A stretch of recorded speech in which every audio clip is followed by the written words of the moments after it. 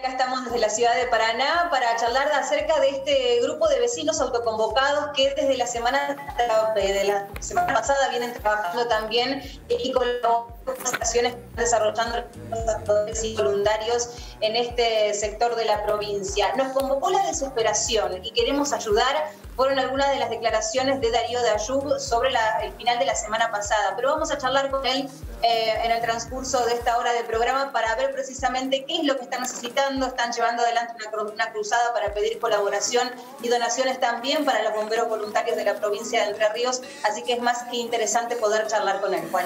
Darío Dayup es integrante de Acción Ciudadana contra el Fuego de Paraná. Eh, hola Darío, gracias por atendernos. ¿Cómo estás?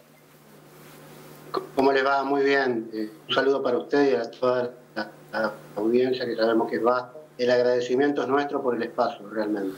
No, por favor. Eh, bueno, a ver, contanos, eh, ¿qué es lo que, lo que están impulsando? Danos algunos detalles de, esta campaña.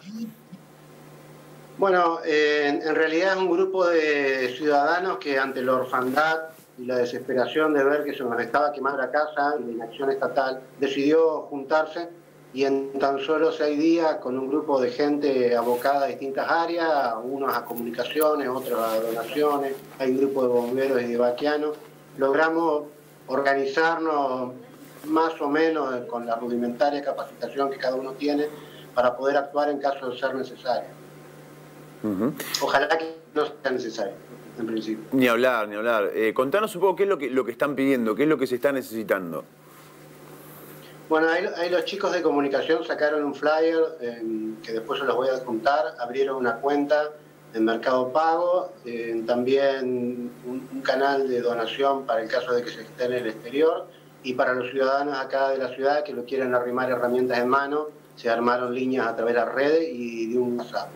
Eh, yo después les paso el listado si ustedes quieren, porque si se me viene así a la memoria se me va a complicar y voy a decir la mitad de las cosas pero básicamente son cuestiones para apagar el fuego, eh, otras cuestiones para uso personal de los que estén eh, trabajando allí, otras para primeros auxilios y otras para nutrir a, los que están ahí, sean alimento, agua y combustible para las embarcaciones. ¿Pau? Después les dejo el flash para que lo puedan publicar. Dale, dale, dale, dale. Sí, Pau, dale. Se, corta, por ahí estamos complicados de comunicación, pero a, ver si si te recuperamos, dale. ¿A mí cómo se me escucha? A vos, Darío, se te escucha bien. Estamos conectados también con Paola, que está teniendo problemas eh, ella. A ver, Pau, ¿vos me escuchás? No, bueno, se cortó, se cortó, pero estaba, estaba Pau del otro lado eh, para, hacerte algunas consultas. Bueno, eh, contanos un poco cómo, cuántos son los... Mirá, tenés compañero por lo que veo también ahí, ¿eh? no, es que lo tuve que subir porque si no empieza a ponerse loco. Mejor antes que ladre, no van lo, subo.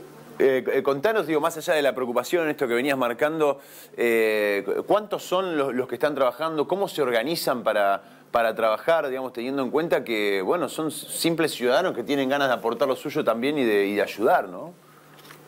La verdad que sorprende y es un mensaje muy grato eh, tanto para el ámbito político dirigencial como para los ciudadanos. En tan solo seis días logramos juntar 80 personas, nos empezamos a organizar en distintas áreas.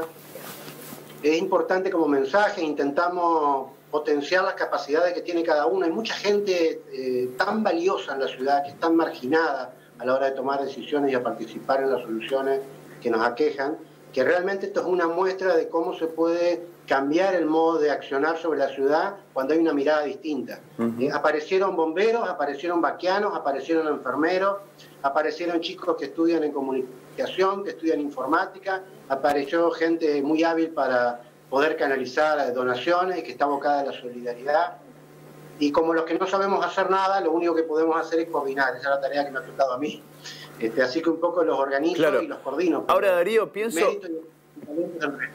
Pienso que, a ver, vos decías, aparecieron bomberos, enfermeros, eh, vaquianos, de todo un poco. Eh, es una tarea también riesgosa, complicada, peligrosa, que requiere de una coordinación más allá de la, voluntad, porque, digamos, eh, no es cualquier cosa simplemente. ¿Cómo se organizan en, esto puntualmente?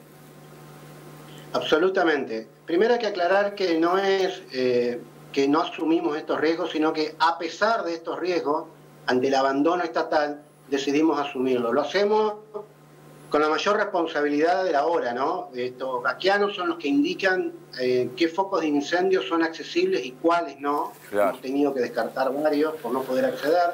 El cuerpo de bomberos y de enfermeros nos van suministrando toda la información necesaria para poder salvaguardarnos, para poder ser una solución y no un problema, y para poder ser efectivos, con información, con los elementos que necesitamos, con un protocolo que se nos adjuntó, que se lo damos a cada persona que desea ingresar. Eh, yo no, quiero, no puedo hablar de esto como algo ajeno a todo un, marco que se da para que los ciudadanos necesiten actuar. Esta orfandad a nosotros no nos sorprenden porque el mayor problema que hay en Entre Ríos a diferencia de Santa Fe, de Buenos Aires, de Corrientes, es que aquí hay una fusión de los intereses económicos con los dirigentes políticos. Por eso que nos han dejado solos, por eso que no se apaga el fuego y por eso que no se toman medidas. A ver, para, para, para. Pará, pará, pará, porque esto que, dijiste está bueno. Eh, eh, ¿a, qué te referís concretamente con la fusión de los poderes económicos con la política eh, cuando hablamos de esta temática? Bueno, a la gente hay que explicarle para que se pueda comprometer el motivo de todo esto. Mm. Esto arranca en 1997 con la firma del, memorándum que admite la soja, admite los granos transgénicos en el país. Aquí hace pie de modo muy fuerte, porque Benedetti es el quien administra el pool de siembra más grande del país. Está, eh, es oriundo de La Roca y no es casualidad que Urdina Rein hoy sea la ciudad más agrocontaminada del mundo y está a 40 kilómetros de la roca. El otro entrecomillado opositor es de Angeli, que viene de la Federación Agraria, justamente. Esto es lo que debería representarlo en carácter de opositor. Pero en el oficialismo tenemos una persona como Rodríguez Signe, que deviene del radicalismo y hace 12 años que es fiscal de Estado. Ha habido muchas personas que han invadido, la, la, isla y han hecho juicios de usucapión sobre inmuebles que no pueden usucapirse porque son bienes públicos. Sin embargo, no ha sido bien defendida la provincia, este, no han sido apelados los fallos, no se han presentado las pruebas necesarias y además, Catastro ha emitido los títulos de propiedad. Esto ha hecho que nos dejarnos en un estado de indefensión absoluta. Por eso, donde se fusionan los intereses económicos con los intereses políticos, deviene la inacción que la gente no se explica. Cuando la gente pregunta por qué no se apagan los fuegos, la realidad de los hechos es esta.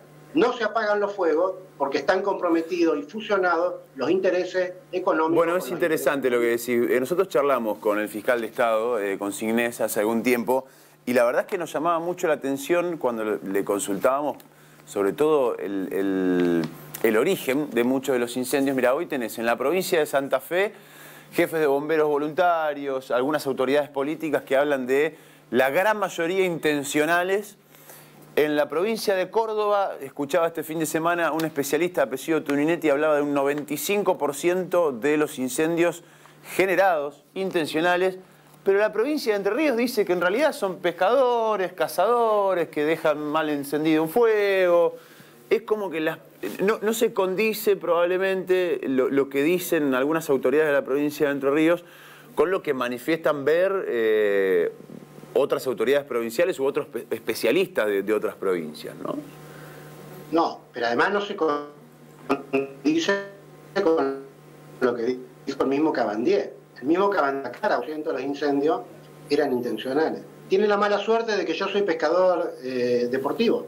Estoy cansado de ir a la isla en enero, en febrero, en plena sequía, con un sol que parte la tierra, lleno de pescadores en la isla, y nunca jamás fueron causa de, de, tamaños de incendios. En este discurso también poderosamente llama la atención que sea coincidente eh, gente como Jaroslaski, ¿no? que en teoría es la oposición, cuando hablan de la multicausalidad. Una multicausalidad que si la vemos llega hasta el Amazonas, es decir, que es una multicausalidad bastante errada con tantas variables dándose en un mismo lugar. Pareciera ser más bien un hecho de la casualidad que de la causalidad. Lo que pasa en el fondo es que la, agricultura ha ganado terreno con la, con, la, soja y ha expulsado a la ganadería que necesita nuevos terrenos. Entonces los busca en las islas. Por eso queman para que reverdezca el pasto y puedan comer el ganado. esto es sola, esta es toda la realidad, más allá de los negocios inmobiliarios que hay de fondo, con los que han logrado suscapir terreno y todo el entongue que tiene oposición con oficialismo. La gente lo tiene que saber porque cada dos años tiene elección y renueva representantes. Y debe saber que no son fieles representantes de su sentir los que hoy ocupan la banca. Y no pueden esperar eh, soluciones de esta gente. Por eso, mire, yo soy abogado, pero no le hablo de normas, porque normas de protección del medio ambiente sobran. Lo que falta es voluntad, señores. Y no hay voluntad porque hay compromisos cruzados en ambos lados del mostrador. Tenemos que salir los ciudadanos, yo dejar mi escritorio y mucha gente dejar de hacer su tarea arriesgando nuestra propia vida para apagar el fuego y hacer lo que no hace.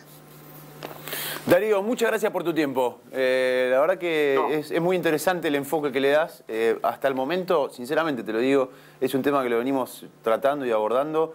Eh, nos ha sorprendido mucho las declaraciones de, algunos representantes de la política, del propio fiscal de Estado de la provincia de Entre Ríos, con una visión que parece ser bastante alejada, por lo menos de la que tienen muchos otros especialistas, con lo cual es interesante escucharte. ¿no?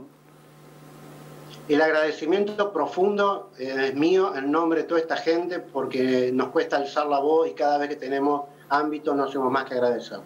Gracias por tu tiempo. Gracias a usted.